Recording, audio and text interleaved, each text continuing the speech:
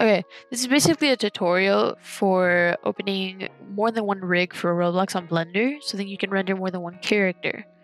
So what you're going to need is one file of the rig and then you're going to need an extra one so you just like duplicate it. It's pretty easy.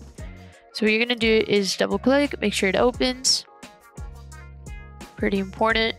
So I'm going to make a tutorial on how to like, you know, design whatever texture later. So we don't need this right now.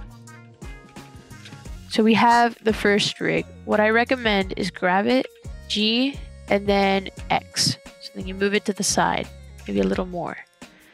Then the next thing we're going to do is press File, Append.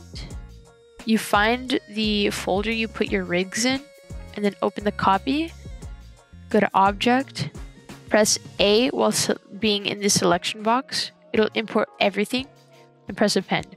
Yes, there will be a few boxes here. If there isn't, then that's good. If there is, just select them, press X, and delete. Same with this one. There you go. You got two of them. And then a mistake that I usually have when texturing a character is that like you have to put them in separate folders. So for each Roblox character, you're gonna have to put them like each texture in a separate folder. It may be tedious, but trust me, it'll help so much. You have no idea. Alright, there's your tutorial. Thank you for watching.